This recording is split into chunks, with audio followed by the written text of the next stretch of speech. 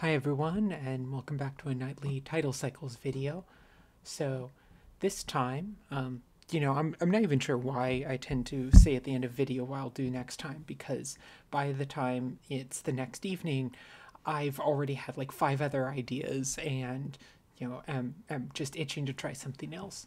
So this time we're going to be doing the squeeze function and kind of messing around with that, talking about what it does, how to use it, maybe try and come up with some interesting tricks with it.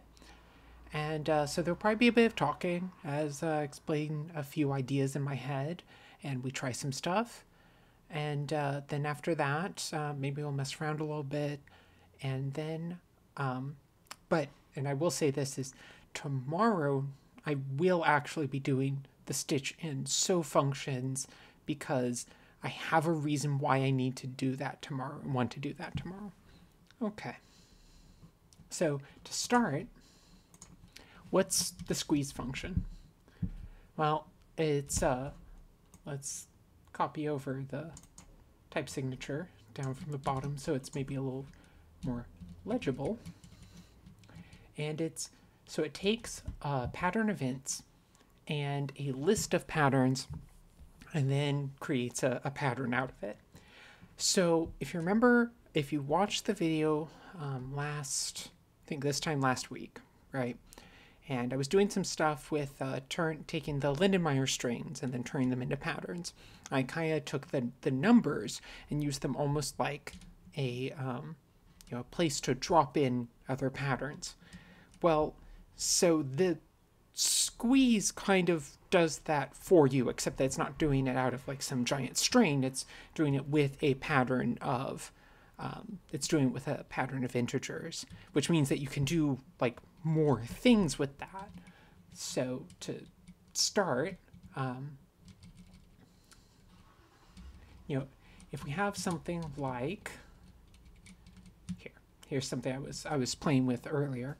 Uh, so basically, you can um, you can pattern you can uh, uh, you know, write the pattern string of integers the way you normally would, and basically it just indexes into the list of other patterns. So here we're using a pattern of, of sounds, right?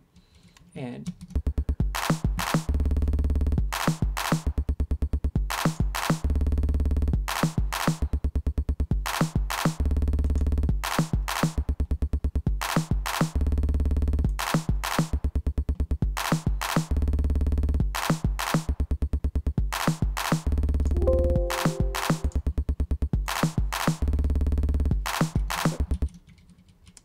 can hear that what it's doing. I mean, it's it's you know it's playing this string. I mean, it's playing this set of sounds twice, and then it will do the glitch times four either two times or four times. And um, you know you can you can do all the sort of normal stuff you would do with it.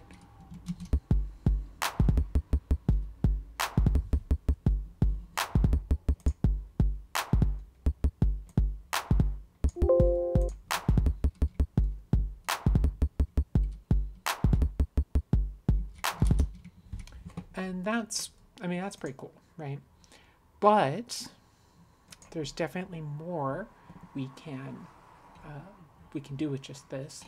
So here's a slightly more complicated example i was messing with because i was thinking about the fact that well so with this pattern of um, you know you can it's just pattern of integers right? Which means you can do all sorts of things. You can do off you can uh, do you know, struct. You can combine it with, you know, and so here, like, I won't say this is like brilliant sounding, but this, this is kind of fun.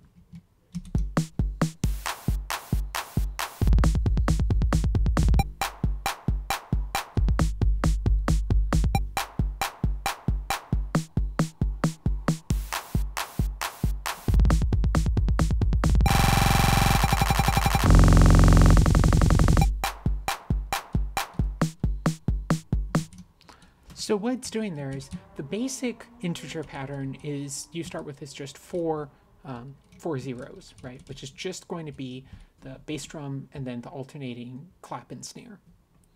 But we've put an offset, and what the offset does is that it, it alternately um, puts the, the offset beat at plus one or plus two, which means it'll be selecting one of one of these. Now, and then, you know, every um, you know, every every yeah, with the the whenmod says that you know out of out of twenty cycles, the last couple um, are going to use struct to uh, play the uh, the first half, you know, twenty times, and the the uh, second half ten times, and so you get the the really that's where you get the fast almost trill of it, right?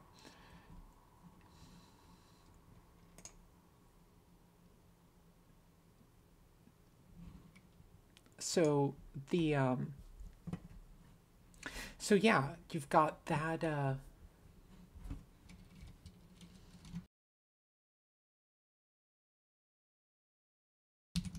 so you, you've kind of got like basic things like that, right? And you can use it to do some pretty neat, um, neat patterning. But I was thinking one of the things that's kind of fun about it is that so there's there's Haskell as a language has this concept of of partial application, right? And what partial application does is that you can give a function just one argument and so here we were doing a, and that gives a, you know, function that takes multiple arguments. You can give one argument, you get a function that takes the rest of the arguments. So, uh, for example, so let's talk about what the, the type of, you know, this squeeze p is. Oh, that that didn't sound good, but we'll we'll move on, and we will rise above the squeeze p. And then, so what we have here is that this partial application gives us a thing that takes a list of patterns and returns a pattern. Well, that seems neat. Uh, and so what we can do here is let let's use it to try and generate a, a melody pattern and a um, and do our uh, our beat at the same time. So here I just did this. I create a variable that used this partial application on a on a list of uh, chords. And so then that will that can be used and then we slow it down here, feed it to the end function, and then sure enough we'll get a and I degraded so that it's um cuts, it, cuts off.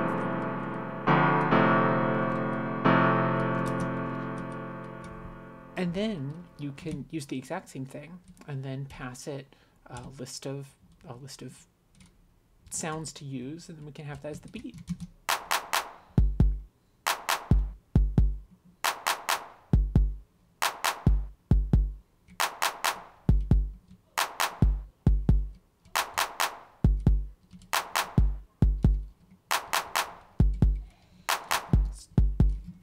So I want to talk about one thing that's kind of funny about this. Now, you'll notice you, weren't really hearing the glitch, right? You're hearing the you're hearing the the bass drum and the clap. So why is that? Where why wasn't this showing up?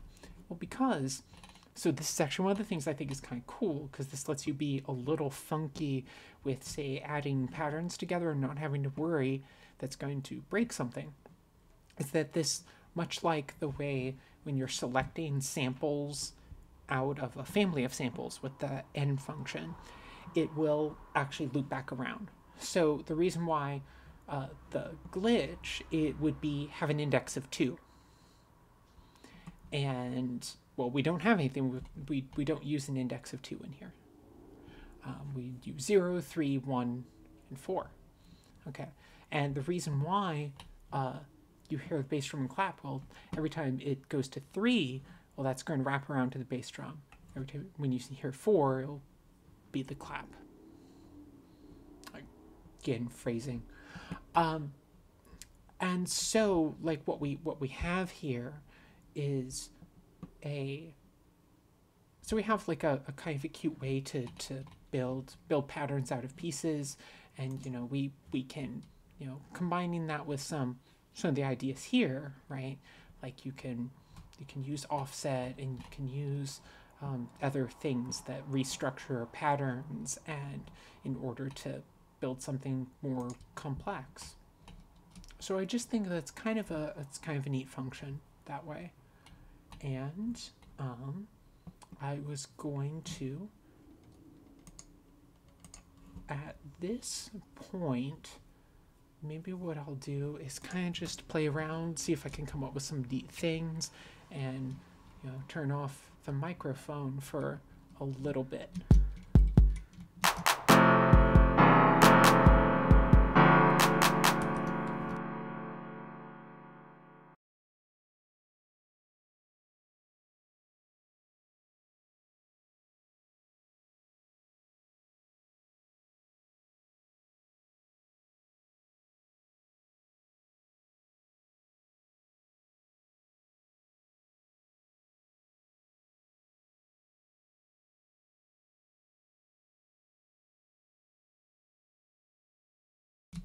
Oh, I suppose one thing that I should say quick is that uh, the function pickF is it's squeeze, but for lists of functions instead. So that's that's really the only difference between them. And we'll go ahead and try and use both.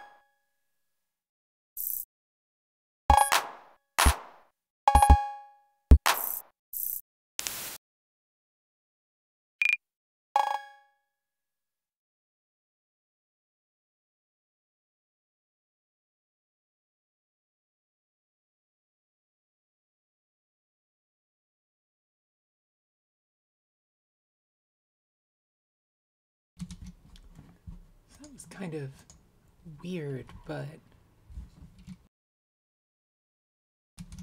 I like to think it actually, you know, showed that we could at least try getting some weird, noisy music out of um, out of using squeeze and pick with like a common pattern.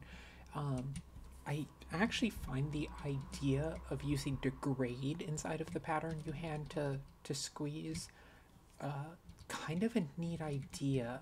I kind of want to play around with that a little more. I think maybe with a a less convoluted shape to begin with, like um,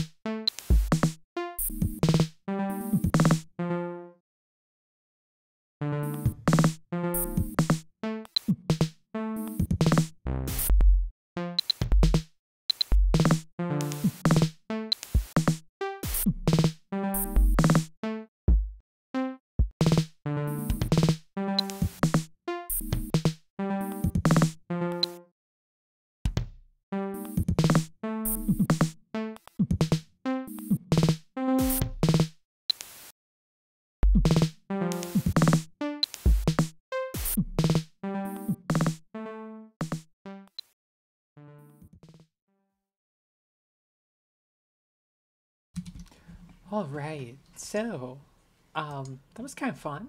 I don't know if that that counts as like full on banger territory, but um, it was kind of neat. Uh, kind of had some good unpredictable rhythms, some interesting uh, intersections of uh, like uh, what uh, Alex always calls pattern interference, right? Like how when you combine structure together, doing interesting things, and so like taking the two squeezes and um, you know, adding them together allowed for some kind of like fun rhythms and stuff and yeah that was and it was just off of this like super simple pattern we were using with the squeeze uh, every four degrade and then just cycling zero through four with the you know, polymeter of eight.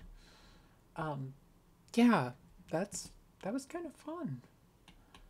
So yeah um, i hope uh, if you watch this, this was either educational or entertaining, uh, inclusive or there.